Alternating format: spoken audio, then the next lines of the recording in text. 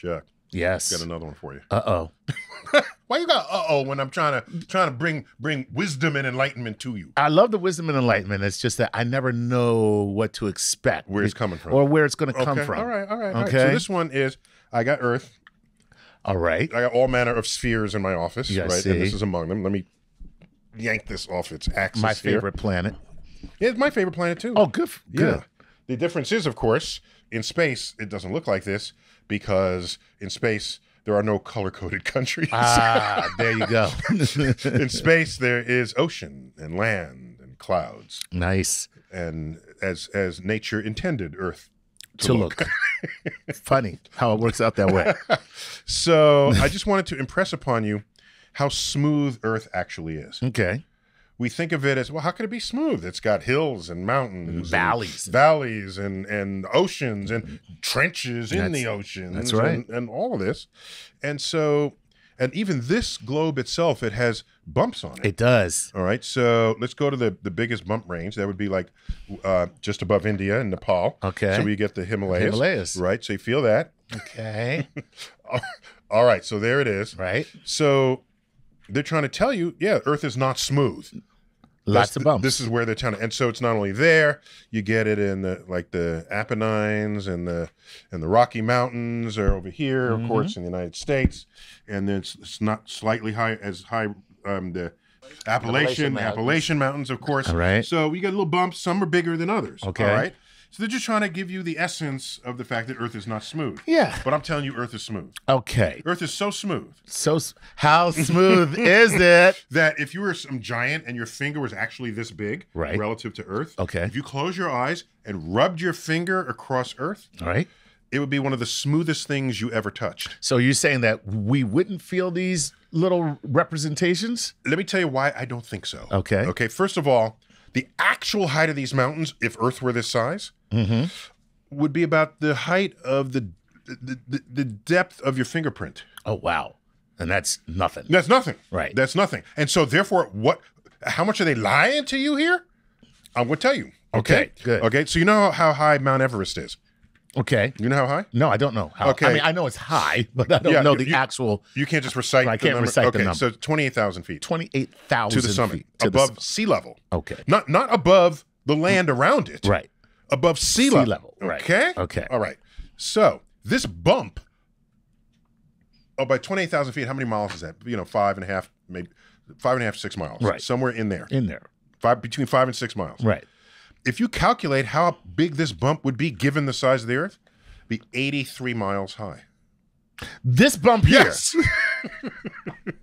That's pretty wild. Okay. Right. Eighty-three miles. 83 miles. Yeah. Yeah.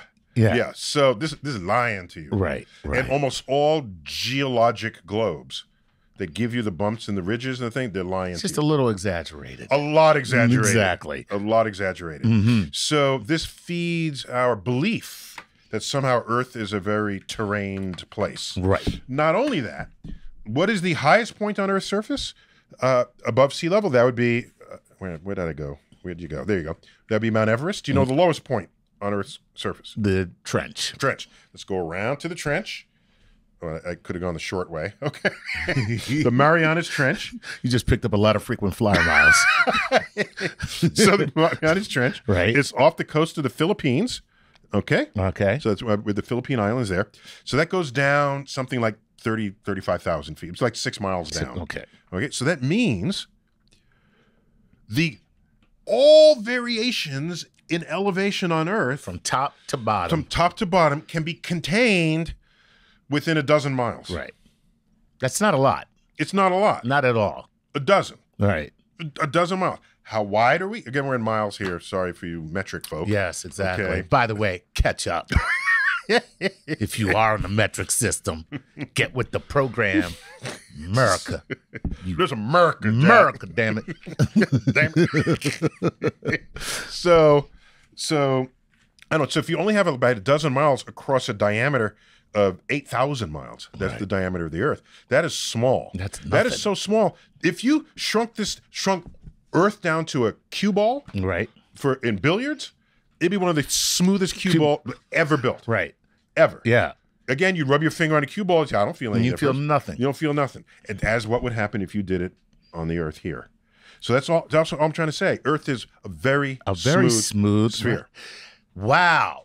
See, now there will be people who will say you are wrong because I can see mountains, and you are wrong It's 'cause- because I can see valleys. Yeah, it's because you are littler than than the bumps and wiggles. That's very Okay? funny, right? kind of makes sense, right? If, if you were an ant Right. crawling on a beach, it's like, man, th- this hills and dales or something. Right. Oh my gosh! Oh, mean, these dunes are amazing. Right. right. You know, you're just walking across them as a human being. Right. So it's just a matter of what your size is. This is part of the problem with flat earthers because we are so tiny. Right. You're only seeing such a small section of this huge curved surface. It doesn't come to you ac- across to you as it's a curved surface. Right. Because your exposure to it is so small. So this is part of what it, the, the cosmic perspective is just rethinking how the world looks to you and ask is there something fundamental about that or are you are you stuck thinking something is true that is not or thinking something that is not true That is. Right. And so, with respect to other planets Mm-hmm. um, that we know of, I'll, I'll say in our neighborhood, forget Uh-huh. forget exoplanets that we found. Uh, how smooth are we compared to them? excellent question so it turns out the moon is slightly less smooth than we are Okay. so their big mountains relative to the moon's diameter are a little higher Okay. and so you know why Okay. Why? there's not as much gravity there Ah. What you know what the ultimate limit on how high a mountain is going to get on the moon is how much the damn mountain weighs Right. All right, and, and you're holding up with just rock. Rock ain't infinitely uh, strong. Right. Exactly. All right. So at the base of the rock, is it can it hold it up, or will it start to succumb under pressure and flatten out? And uh, so yeah, there's a limit to how high the mountains will ever be on the Earth, just for that reason. oh wow. Yeah. Yeah, and you never think of that. You never think there's a reason why mountains can only be so high. Right, right. So, and the, the smaller the object is, or the less gravity it has, the more you can have a distortion relative to its size. Right. And that's why there's some asteroids that are potato shaped. Yes. All right. They're not spheres. Right. Because their rocks can get any shape they want without gravity forcing it back into a sphere. So, anyway, we live in Manhattan, which is about a dozen miles top to bottom. Right. That's the full difference Between- between, the lowest point on Earth's crust and the highest point on Earth's crust. Wow. And you can drive that in 10 minutes. I was going to say that's Not nothing. traffic, but you can Yeah. drive. Well, yeah. Yeah, but it's, it's, yeah, it's nothing. right. It's nothing. Uh, so, go. Chuck, there's the story right There there. is. Okay. Right. Oh, wait, wait, one other quick thing. Um, since gravity will prevent mountains from getting very high, Right. you might ask, well, what object has the strongest gravity of them all? Ooh. Okay, so you get uh, neutron stars, Right. That's true. Which have is a failed black a hole. failed black hole. Yeah, and th- they don't want to be called that, but that's Sorry, neutron. neutron star.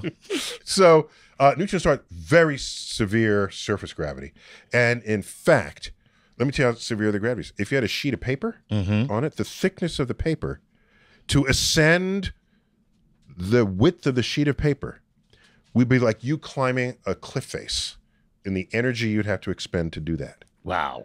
So, in fact, neutron stars don't let anything get too far out of out of out of alignment there. A little clingy. So neutron stars are the smoothest objects in the universe Oh, for that reason. Because of the gravity. Because of gravity. yeah, That's it's right. co- it's almost like it's compact. you know what gravity wants to do? It wants to pull every part of it as close to the center as possible. Come here, I love you. And if something's a little sticking up a little too high, it's going to yank it back in. That's right. Get in line. so, so there you have it, Earth and its bumps and wiggles. there you go. The Earth, smooth but not flat.